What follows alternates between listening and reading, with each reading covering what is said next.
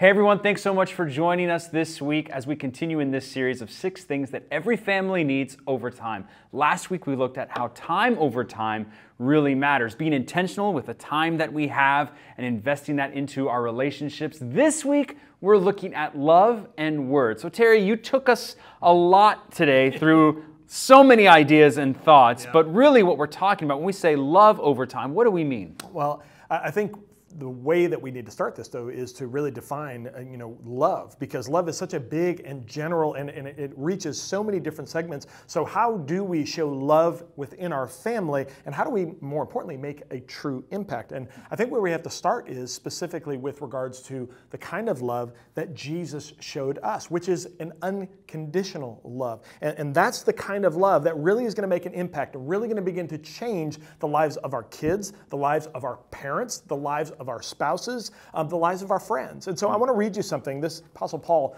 he, he said this once. He said, Look, he said, For if when we, are, we were God's enemies, we were reconciled to him through the death of his son, how much more, having been reconciled, shall we be saved through his life? Not only is this so, but we also rejoice in God through our Lord Jesus Christ, through whom we have now received reconciliation. And that speaks to our relationship with God that when Jesus Christ died on the cross for us, we were reconciled. That no matter what our past burdens, no matter what our past mistakes, no matter how bad we failed, God loves us the same. He loves us as He created us to be. And so, how much more as a family that when a family member messes up, when a child does the wrong thing, how can we then remember the kind of love that Jesus gave us and that God gives us that we, before we look at them, before we speak, before we get angry, before we get emotional, we pause for a moment and say, wait a minute, because of what Jesus Christ did for me, I am reconciled, which means how now should I talk and speak to my loved one? How can I interact? How can I show them that same kind of love? And when you show that love over time, it makes a true difference. And that's really tricky for us sometimes, right? That idea of an unconditional because a lot of us carry hurt or mistakes or or maybe some pain that goes on there, but more than that, just being mindful of it every single day because saying that we love someone with our words is very different than actually showing them by how we live every single day. I'm right? so glad that you said it that way because many of us think that I, I don't have the right words to say, Pastor Terry. I, I mean, I, I, don't know what to say. I don't know what to do. And typically, I even tell our staff this that sometimes in the moments of difficulties or tragedies, even within individuals, the best thing that you can do for someone is to show up, yeah. to be present. You don't have to say anything. You just need to be present. And when you think about it as, as a parent or as a grandparent, when you show up consistently over time, whether someone makes a mistake or what, whether someone succeeds at their best, it speaks volumes to their value. They know that they're valued by you because it doesn't matter what they choose, they know that you are going to love them over time. And so, what does it mean to show up? How can I, as a family, show up for one another? We typically say this show up consistently. Be there on the consistent moments. Create those rhythms and those patterns. So many of us are stretched thin in our families. It's now time to make an intentional action step to say, we are going to have dinner together around the dinner table consistently. We are going to show up for our son's basketball game no matter what. We are going to be there with our grandparents once a week around the table having dinner because we want them to know that we value the time that we have with them. So there's showing up consistently. There's also, which I love, showing up randomly.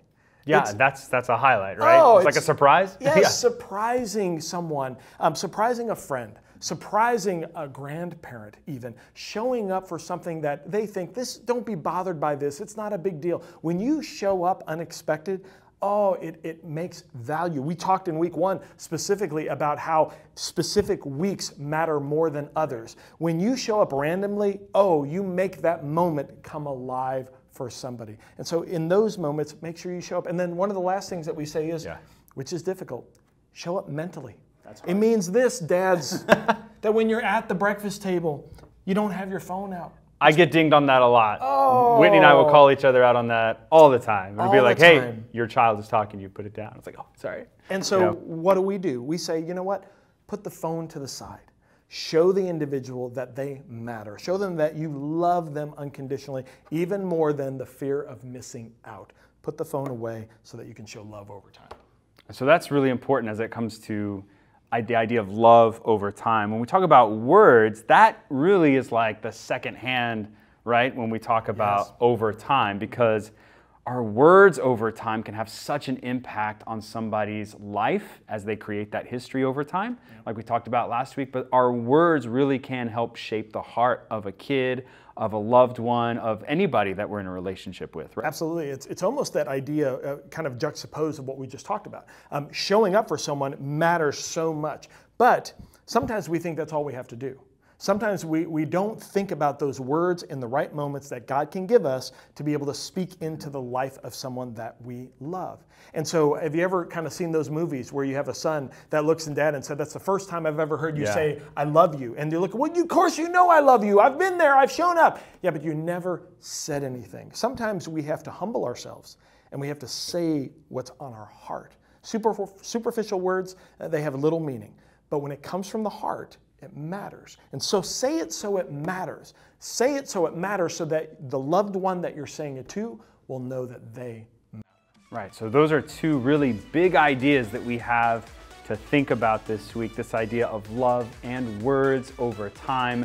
So, how are we going to live that out this week? What is one way that we can take this idea of being intentionally uh, showing up for somebody, either randomly or predictably, maybe building some consistent rhythm in our life, and how can we use our words this week to create uh, an awesome history for someone in the future? So I hope you guys enjoy that idea. I hope you have some great thoughts on that, and we will uh, continue on with this next week.